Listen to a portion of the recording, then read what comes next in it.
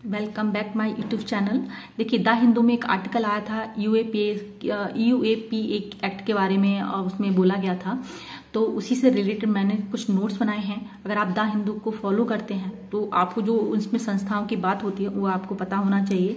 तो देखिए उसमें यूएपीए की बात हुई थी अनलॉफुल एक्टिविटी प्रिवेंशन एक्ट ठीक है?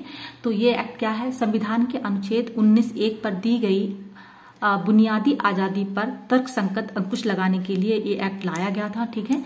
इस एक्ट को 1967 में लाया गया था, ठीक है? 2019 में इसमें संशोधन हुए थे। तो क्या संशोधन हुए थे? देख सकते हैं आप। संस्थाओं के साथ साथ किसी पर्टिकुलर किसी एक व्यक्ति पर को भी आप आतंकी घोषित कर सकते हैं। तो संस्थाओं के साथ साथ किसी एक व्यक्ति को भी आतंकी घोषित किया जा सकता है। इससे पहले केवल संस्थाएँ ही आतंकीवादी घोषित हो सकती थी, ठीक है? यदि किसी व्यक्ति पर यह एक्ट लगाकर आतंकी घोषित किया जाता है तो आरोपी का किसी आतंकी संगठन से संबंध दिखाना भी ज़रूरी नहीं बनता है ठीक है? यूएपीए धारा 18, 19, 20, 38, 38 या 39 के तहत केस दर्ज होता है। धारा 38 में क्या है? आरोपी के आतंकी संगठन से जुड़े होने की बात पता चलती है।